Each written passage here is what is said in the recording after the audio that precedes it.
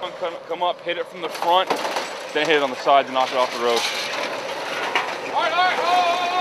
This vehicle was parked somewhere it shouldn't have been. After the Explosives Ordnance Team reduced the threat, the Engineers Squad Vehicle, or ESV, moves in to clear the debris.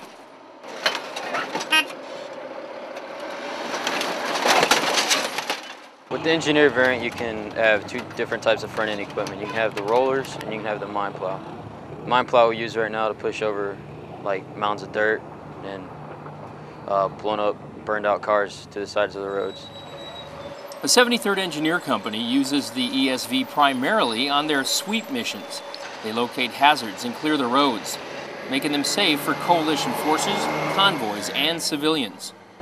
Uh, we came up on a situation where there was uh, two possible IEDs, uh, improvised explosive devices, um, one in a pile of rubble and one in a uh, metal canister of some kind. Anti-tank mine.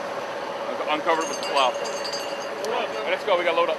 We used the uh, plow to knock them over, to push them out of the way to see if we could detonate them or if uh, there was even anything in the uh, these canister or the pile itself. Uh, we used it kind of like a, you would use a, a bulldozer, but this is a little bit lighter and a little bit faster.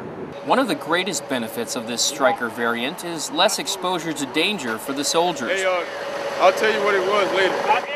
The engineers are provided a closer, safer look at what the threat is before they decide how to dispose of it. Army Sergeant Lance Milsted, 366 MPAD, Mosul, Iraq.